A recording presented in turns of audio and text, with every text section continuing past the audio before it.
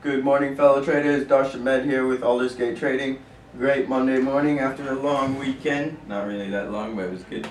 Um, for the economic data, we have a few pieces this morning. Main thing for the market is the Fed chairman's speech at 2 o'clock, something we want to keep our eye on. Also, rumors of um, more bond purchasing uh, happen in the European Union.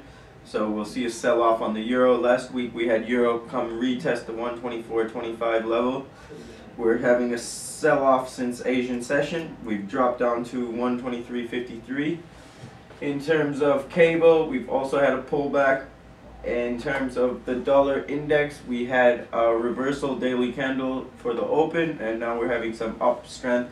Maybe a retest of 82, 80 today, and then uh, pull back on that index as well. That is all for today. If you have any questions, feel free to visit our website at aimllp.co.uk.